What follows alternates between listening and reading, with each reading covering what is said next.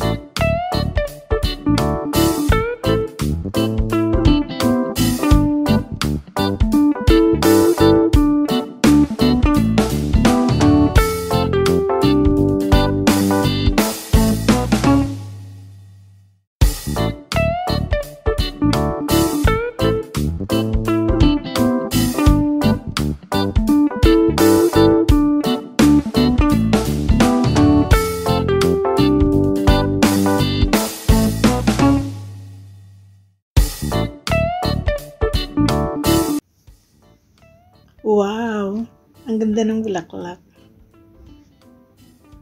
Napakaganda ng bulaklak. Dito yan sa daanan, papuntang St. Joseph.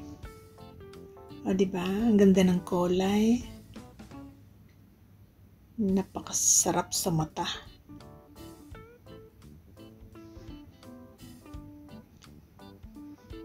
At saka hindi ihip-ihipan ng hangin. Ayan siya. Oops. Oops. Ang ganda. Nakakaaliw. Yan. Tapos, yung puno na yan, sa loob ng maraming taon ko dito, 14 years na po ako dito, yan, ang puno na yan, napakalaki na. Ah, diba? At saka dito po, tindahan po ito ng ano, mga halaman, mga bulaklak. Ito lang sana ang kukuhanan ko. Tapos sabi ng matanda, ayun pa, kunan mo ng bulaklak ng ano. Sabi niya, videohan mo. Itinuro niya ako dun sa ano, sa taas.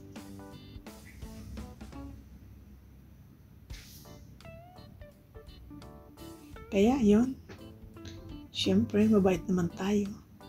Tsaka gustong gusto rin. Ayan. Kinuhaan ko yung mga sa taas. Tinuro niya kasi. Sabi niya yun, maganda. O, di ba? Ang ganda ng bulaklak. Gustong gusto ko yung dilaw. Napakaganda ng dilaw. Malinaw na malinaw sa mata. At saka ito naman talaga, napakagandang ano to, itong area na to, laging ano yan, laging may orchids, iba't ibang klase ng orchids. Ngayon naman ay puting-puti. Ah, di ba? Napakaganda ng pagkaputi niya.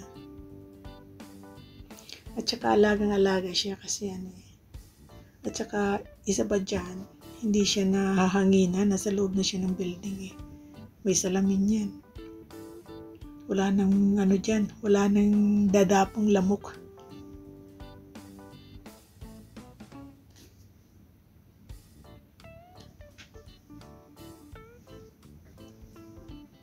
Cute na cute ako dun sa ano eh, sa, sa pagkaputi niya.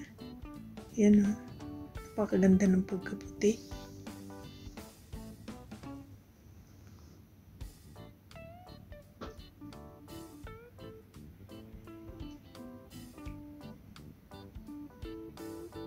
Ang cute na cute. Dito, laging ano yan, yung area na to, tuwing magsisimba ako, lagi ko itong pinupuntahan dito, mula pa noon, kahit yung bagong-bago dito talaga, kasi mayroong ano yun eh, may mga iba't ibang klase ng display sila dito. Itong green na to, hindi ko alam ang klaseng halaman yan. Basta ano ko lang dito, yung puti, yung puting bulaklak, talagang malayo pa lang ako. Sabi ko ang ganda nito. Makuhaan nga ng ano ng video. Yan siya. Dito sa totoo lang napakaraming display kapag ano, lagi nilang pinapalitan yan. Dadaanan mo makikita mo napakagandang ano napakagandang display. Mga tunay na halaman. Hindi katulad ng iba at naglalagay sila ng plastic dito talagang totoo yan.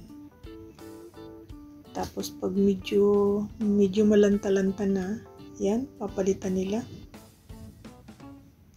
Talagang alagang-alaga nila yung ano, yung lugar. Kasi alam nyo, itong Hong Kong, pasyalan to eh. Medyo madalang nga lang tao ngayon, alam nyo na kung anong nangyari sa ating mundo. Damay-damay lahat. At saka itong halaman na to, napaka-cute. Maliliit siya. Pag tinignan mo sa malayo, yung hugis niya para siyang paru-paro. O, di ba? Yan. Pero pag nilapitan mo siya, orchids pala. Ayan siya.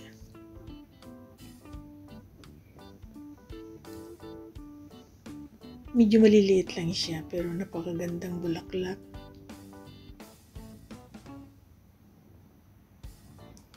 Ang galing ng nag-alaga nito. Magandang mag-alaga ng ano, ng halaman. At saka ito ang cute. Ang tunay na paru-paro. Napakaganda ng kulay niya.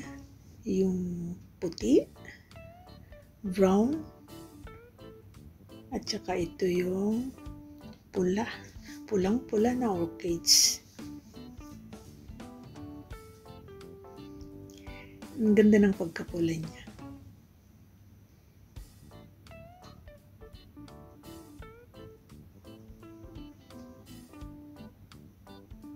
At saka ito naman, may iba't ibang kulay. Ang ganda ng mga halaman, ano? Si Lord talaga ang galing.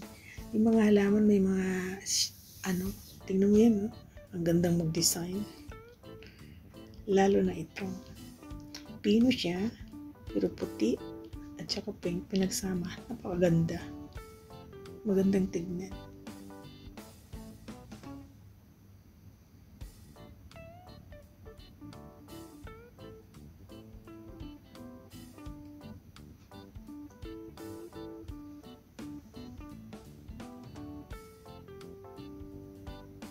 Ito ulit siya.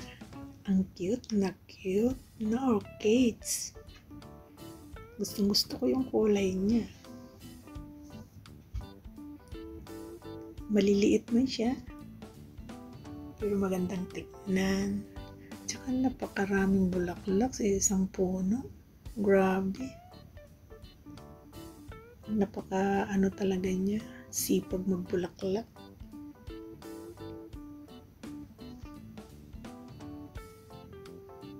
Ayan oh. Ang cute.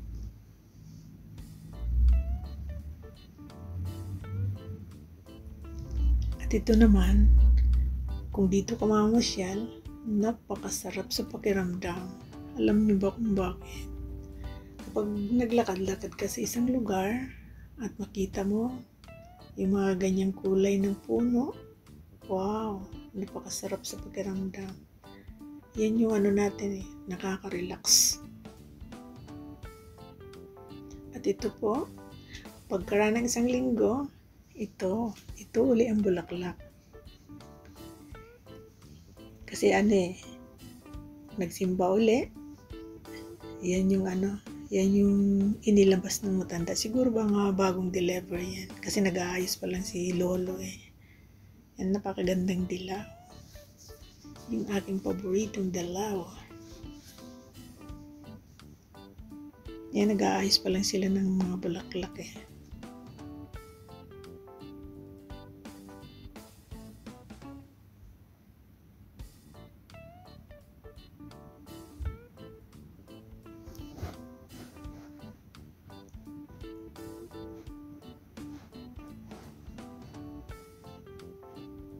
Ayan, si Lola. Nag-aayos ng bulaklak. Nilalagay niya dun sa puno. Katulad ng nakarang linggo. Naglagay din siya sa puno ng ano, kahoy. Ayan. Kasi ano eh, marami yan silang ano eh, nilalabas siya, nakahilira yan dyan sa lugar na yan. Tapos ito nasa labas pa. Mga bagong deliver yata yan. Napakagandang ano, napakagandang bulaklak.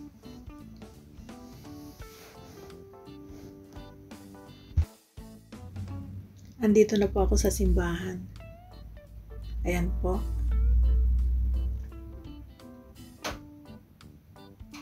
Dito po ako sa St. Joseph. At lakad uli, pababa, dahil hindi nagsasawa ang pagtingin sa bulaklak.